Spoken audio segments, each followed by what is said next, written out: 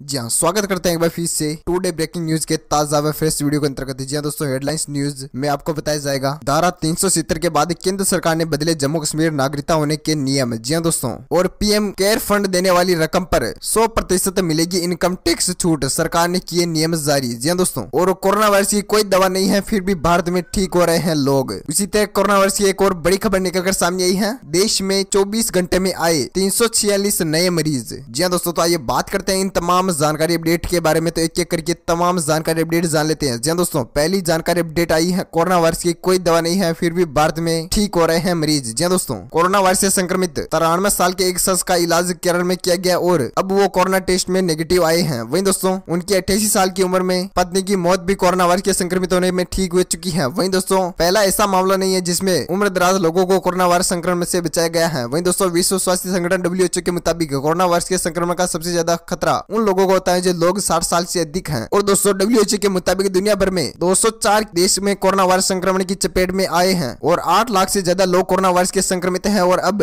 बयालीस हज़ार से अधिक लोगों की मौत हो चुकी है। अब तक डेढ़ लाख लोगों का इलाज भी किया जा चुका है। भारत में अब तक कोरोना वायरस संक्रमण में तेरह मामले सामने आ चुके हैं। अब तक पैंतीस लोगों की भी मौत भी हो चुकी है और एक लोगों का इलाज किया जा चुका है। उन्हें अस्पताल से छुट्टी भी दे दी जा चुकी है। वही दोस्तों, अगली बड़ी खबर निकलकर सामने आ रही है। धारा तीन सौ सत्तर के बाद केंद्र सरकार ने बदले जम्मू कश्मीर नागरिकता होने के नियम। अब ऐसे होगा तय। जी हाँ दोस्तों। केंद्र सरकार ने केंद्र शासित प्रदेश जम्मू कश्मीर में रहने के नए नियमों को अधिसूचना जारी कर दी है। इसके अनुसार पंद्रह सालों में नए जम्मू कश्मीर में रहने वाला कोई भी व्यक्ति अपने न्यूनतम दस वर्षो के लिए केंद्र शासित प्रदेश में काम करने वाले अधिकारियों के बच्चे और उल्लंघित शर्तों को पूरा करने वाली प्रवासी स्थायी निवास के लिए पात्र हो सकते हैं। वही दोस्तों, दो हज़ार दस में जम्मू और कश्मीर सिविल सेवा अधिनियम में संशोधन करने वाले राज्यपत्र अधिसूचना और जम्मू कश्मीर पुनर्गठन आदेश दो हज़ार बीस की धारा थ्री ए जम्मू कश्मीर में पंद्रह साल तक रहने वाले किसी भी व्यक्ति को स्थायी निवास का अधिकार देती है। ये सब कुछ अगर आपके पास है तो आपको जम्मू कश्मीर की नागरिकता निश्चित मिल जाएगी। तो अगला अपडेट देख पा रहे होंगे आप। देश में चौबीस घंटों में आए तीन सौ छियालीस नए केस कोरोना के। जी हाँ दोस्तों, इनमें से डॉक्टर्स भी हो चुके हैं संक्रमित। जी हाँ दिल्ली के निजामुद्दीन स्थित तबलीगी जमानत से मुरकज से लौटे लोगों को कोरोना पॉजिटिव होने के कारण लगातार मामले सामने आ रहे हैं। यहाँ से लौटे अब तक तिरानवे लोग कोरोना वायरस की चपेट में आ चुके हैं। सभी सैंपल पॉजिटिव निकले हैं। यानी कि कोरोना से संक्रमित हो चुके हैं। तो दोस्तों, में उम्मीद है ये जानकारी अपडेट आप सभी को स्टूडियो में जाने को मिल गई और दोस्तों, आप E L S news channel पर पहली बार विज़िट कर रहे हैं तो वीडियो के नीचे लाल बटन दिया उस पर जाकर क्लिक कीजिए चैनल को सब्सक्राइब कर लीजिए और पास में बेलाइकन दिया उसको भी दबा दीजिए। थैंक यू ठीक है वंदे मातरम, जय किसान।